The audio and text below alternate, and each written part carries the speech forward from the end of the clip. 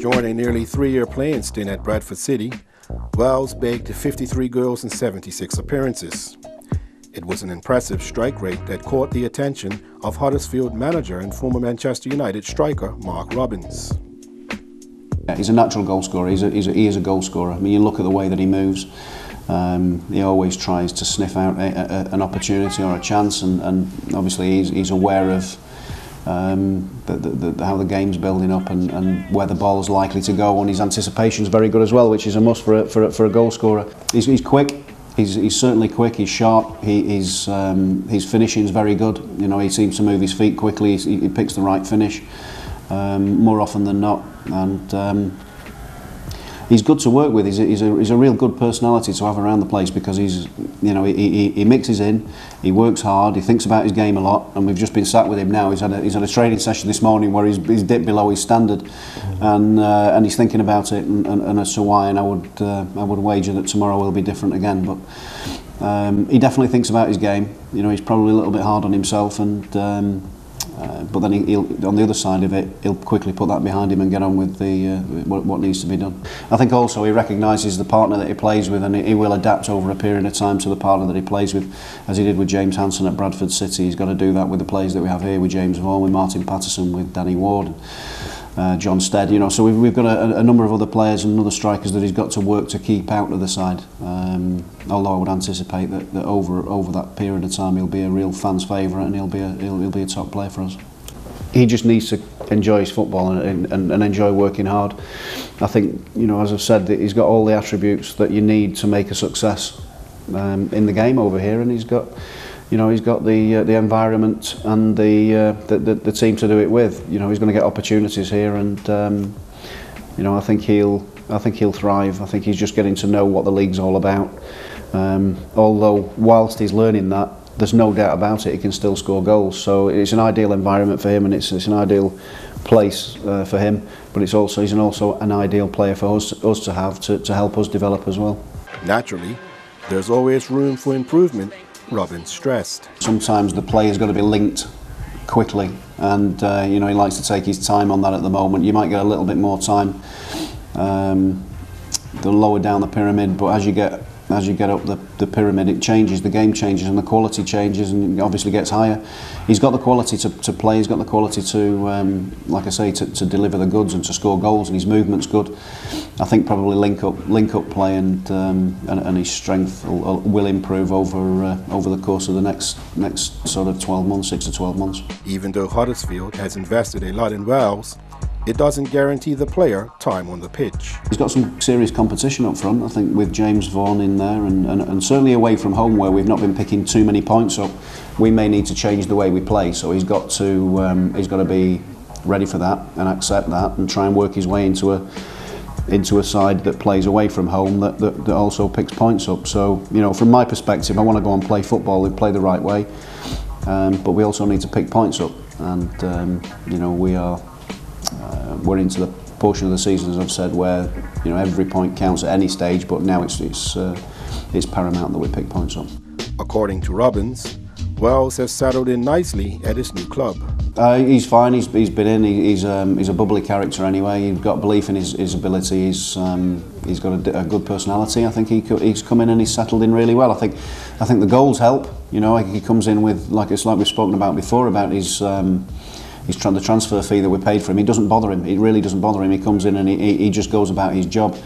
Um, I just want him to be to, to, to be relaxed and, and to come in and enjoy his football, but to work hard as well because we need to be um, we need to be really on our game to get results in this division. You know, we've only just come up last season and, and, and stayed in the division by the skin of our teeth on the last day. Uh, this season's different. Um, we've cut costs and we've brought new players in alongside that and um, you know we, we've got to make sense of our academy and, and some of the younger players are coming through as well so you know I think uh, over the last sort of six to eight weeks we've had uh, a number of young players in in the side where we've had some of the what you'd call probably regulars and, and, and um, better known starters in, in, in the team. They've been out of the team for, with, with injuries and, and illness and whatever. Um, but they're ready to come back in now and, and, and help us with the you know with the running because we're in a different part of the season now where in January over here things change the game changes everybody's um, uh, either desperate to pick up points for, for, for a reason to get them away from the bottom or to try and get get near the playoffs or get up into the uh, into the Premier League. So things change you know the mentality changes and, and we're going to change and adapt with that uh, as well.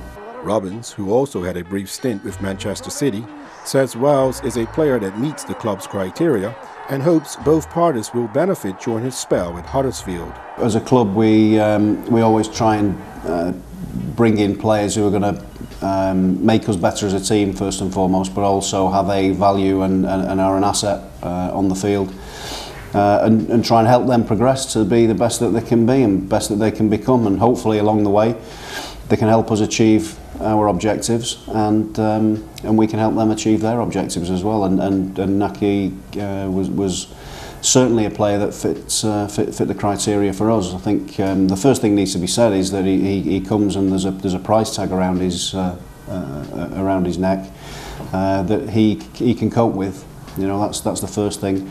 He's a good finisher um, and he stepped up from a, from the lower levels in, in English football but Um, he's managed to score goals along the way and he's helped Bradford get a promotion last season and also uh, qualify uh, for a bottom tier club to qualify for a, a major final is uh, is unheard of really. So he's scored some good goals along the way against some good teams and um, you know he started off this season in a similar vein. He was scoring goals at the level above and um, and he came in here and he hit the ground running and scored two in his first two games, one against uh, Millwall and the, and the second one uh, was against one of the top teams in the country or in this division in QPR. So and he played well. I think I think you know for, for me he's got um, he's capable of more and he needs to learn more.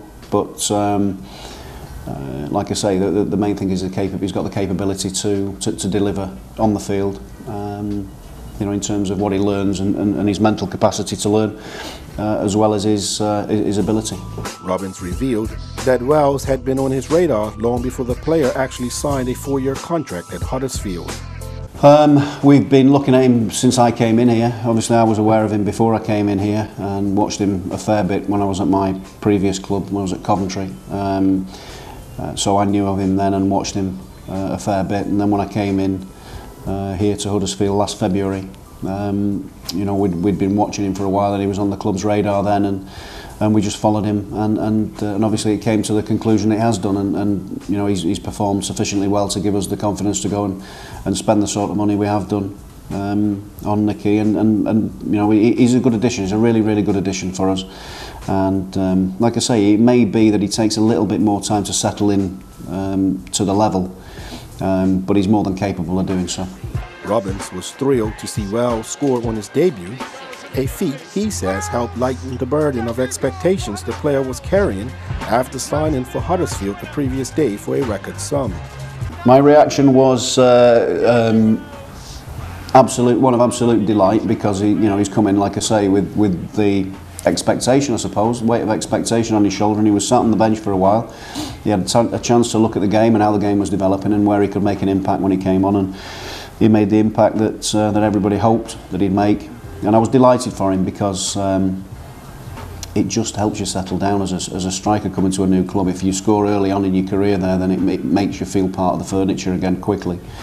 Uh, and I was delighted that he'd done that. But not only that, the, the away game at QPR where he uh, he scored the header, uh, you know, the one or, one or two other chances that if if they'd have fallen to him, um, you know, the, the outcome would have been maybe different. Last week against Leeds, he's, um, he's, he's had one or two chances, but he's creating a load of opportunities for himself. Last week he didn't take one of them, but uh, on any other day, that I would have guaranteed that he would have had a hat trick. So he's very, very close to being a regular, a regular finisher and a regular goal scorer in, in this uh, in this team. So, you know, we'll look forward to that and keep working with him to uh, to make sure that he achieves that. With one Bermudian now among the ranks, I could not help but ask Robins, is there any possibility for others to be recruited as well? We, we certainly got a link there because I know Shaun Goater you know, I know known him for, from a long time ago. He's moved back to the UK now, and um, but he's still got links over in Bermuda, obviously. Um, Sean shows an interest and will show an interest in, in Nicky's development and, and he'll come and watch him play. I think that's just an, uh, a natural consequence of coming from the same region. And, um, you know, he, he's already been on the phone and asked if he can come and watch training and, and watch him and, uh, when he's settled in. Um, so Sean will be coming in maybe to have a look and, and to have a catch up and a talk. Um, maybe we'll look at players from, from that region through third parties like Shaun and maybe Nicky if he goes back in the summer and, and, and you know you, you never know. I mean you we're always looking for good players. We're always looking for, for, for players that are going to help us progress. And if they can help us progress we may, may be able to help them uh, progress as well. And you know there's some good players over in Bermuda there's no doubt about that. And even um, even though really we've had two two in the country that have played um, at, the, at, the, at this level certainly and Shaun obviously at top level later on in his career um, you know, we'll look to bring any any good quality player in from from from anywhere really. There's always a, a potential for anything, you know, and if there's if there's um, if the, there are players there um, you know, that we can maybe have a look at, then we'd be open to looking. And, and, and obviously they've got to fit into a category because we've got to make sure that they're uh, they're eligible to to come and work in this country because we have strict rules and we've got to make sure that they're eligible to do so.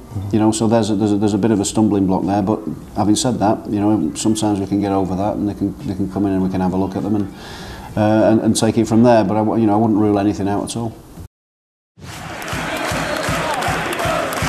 Nahki Nahki